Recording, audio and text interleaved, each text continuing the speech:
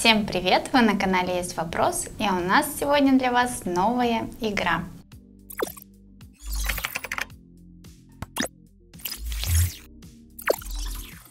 Что нам для этой игры понадобится, я вам сейчас расскажу. А понадобится нам всего ничего. Такой вот листочек белый, можно поплотнее. А, вот такой черный маркер и цветные карандаши. А еще кубики лего. А, ну, не обязательно лего, но кубики разных цветов. А, какие цвета будут кубиков, такие нужны будут и карандаши, чтобы они дублировали друг друга.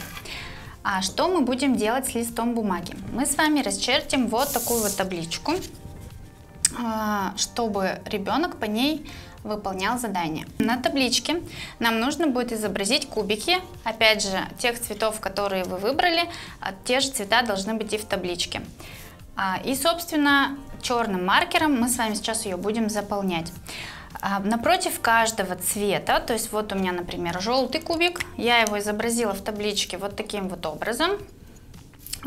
Соответственно, вот это желтый кубик, это желтый кубик на бумаге, и рядом с ним стоит изображение, которое, ну, символ, который мы а, присвоили этому желтому кубику для нашего задания.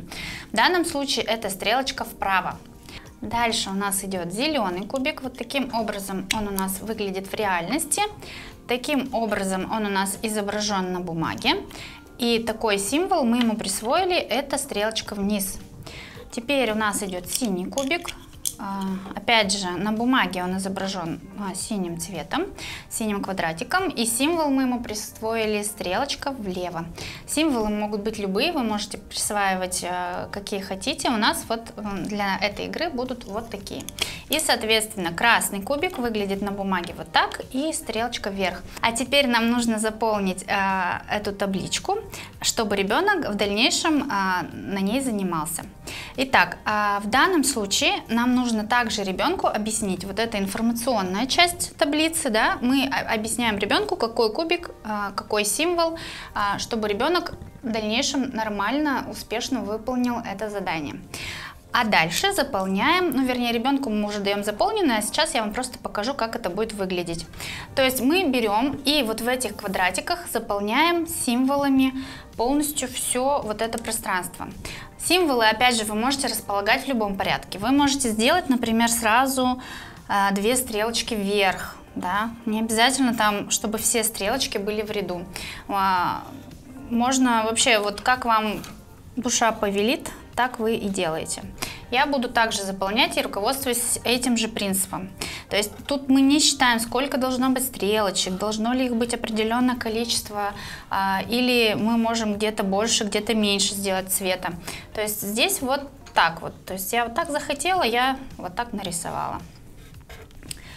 Соответственно, когда мы заполним, всю табличку, мы можем уже а, давать ее ребенку для того, чтобы он начал с ней работу.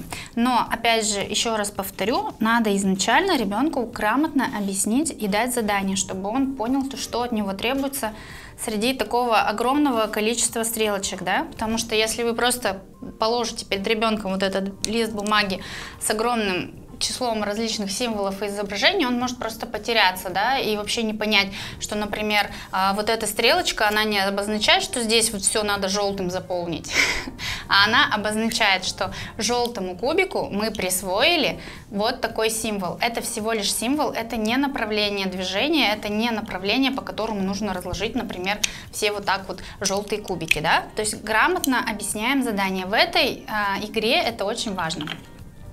Так, что же мы требуем, вернее не требуем, что же мы просим от ребенка? А, мы можем давать ему различные задания. Например, изначально, чтобы он познакомился с игрой, мы можем не просить его заполнить всю таблицу, все поле сразу, всю таблицу сразу. Мы можем попросить его, например, а, поставить только красные кубики на эту таблицу, да? Итак, мы говорим ребенку задание. Поставь только красные кубики на эту таблицу. Итак, ребенок ищет красный кубик, это стрелочка вверх. Соответственно, все стрелочки вверх у нас должны быть заполнены вот такими вот символами.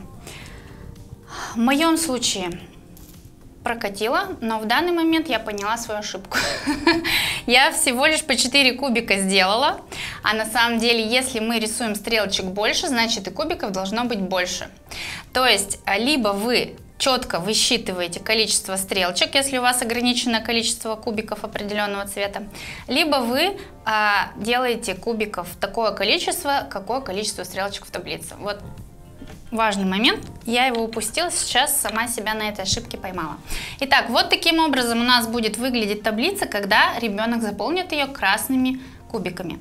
Когда ребенок разобрался с заданием, когда он понял, что значит красные кубики, куда их ставят, можно просить его заполнить всю таблицу всеми цветами. То есть в данном случае вот, а, желтый цвет это у нас кубик вправо, он может, опять же, располагать их а, сразу, то есть вот смотреть, например, что у нас следующее идет в ряду, это стрелочка влево, значит мы кладем туда синий кубик. А может также заполнять по такому же принципу, то есть желтыми сначала все заполнить, да, потом а, заполнить все зеленым, синим и так далее.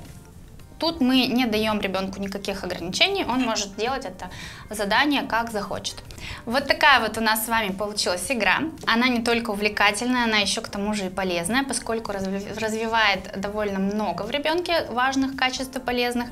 Например, а, мы развиваем наглядное образное мышление, то есть мы смотрим, мы видим цвет, мы видим символ, мы берем кубик. Опять же, это мелкая моторика, да, захват.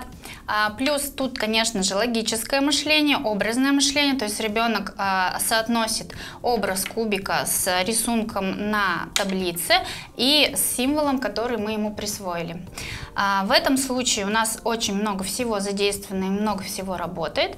Задание не очень простое, соответственно, здесь вы можете его либо усложнять, добавлять, например, брать лист бумаги побольше и делать больше символов, либо больше цветов, да, насколько вам позволяет это делать э, наличие конструктора. То есть здесь вы можете, опять же, подключать свою фантазию и а, дополнять эту игру, исходя из ваших потребностей, исходя из возможностей ребенка, да, из того, как он с этим заданием справляется. Подписывайтесь на наш канал, Подписывайтесь на наш телеграм-канал, у нас там очень много всего полезного, интересного, никогда не устану это повторять. Поэтому обязательно зайдите, подпишитесь, посмотрите, что же мы там для вас интересного выложили. Ставьте лайки, не забывайте оставлять нам комментарии, мы всегда им очень рады. А на этом у меня все. Пока-пока.